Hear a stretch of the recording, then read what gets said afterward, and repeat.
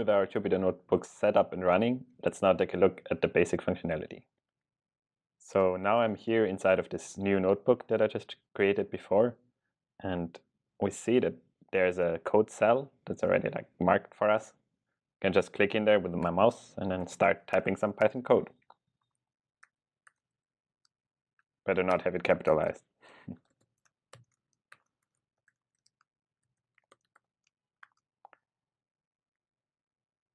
And now, as I said before, we get this read, evaluate, print loop thing right in here, that, which means that we can see our output right inside of this document. So what I can do now here is I can say run this,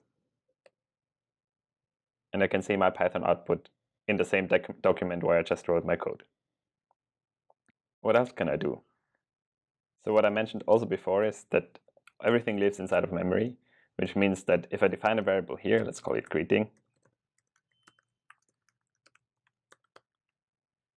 and then run this code block, then I'm going to be able to access the variable that I just defined in a different code block. So I can say greeting and try autocomplete with tab. Jupyter already knows that this exists, so it autocompletes this for me, and I can run this and get the same output that I would get when entering a variable name and pressing enter inside of a Python interpreter. So this is great. What else can we see? Here on the site, it tells us in and a number, and this just talks about the code blocks and in which order they were run. So this was the first code block that was run. Afterwards, we ran that one, and then this one. And in case if there's some output, we also get uh, here and out, and from which code block did it come from. Now, if I run this one again, it's going to overwrite the number in here. And see, because it was the fourth code block that was run now.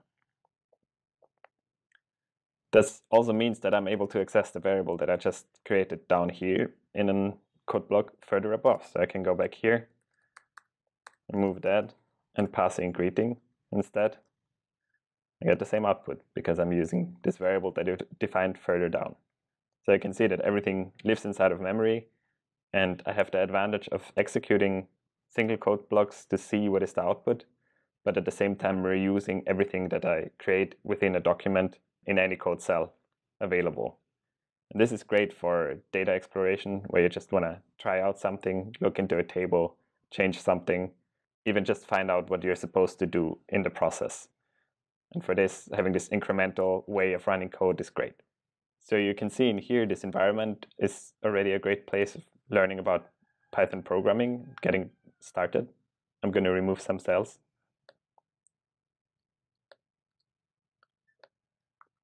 For example, I can just play around and try out things. I can say,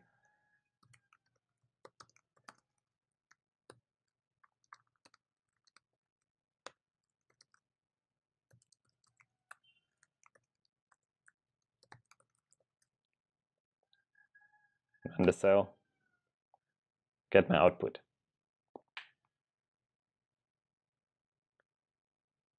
So while I mentioned before that Jupyter is great for data exploration and data analysis, I think it is also actually a great playground for getting started with programming because it is very intuitive. You have menu items that we're going to go over in a moment, and you can just try small pieces of code, see the output right away without needing to write a long script or finding a way around in the Python interpreter or inside of a complicated IDE. Fine, let's take a look at the menu items next.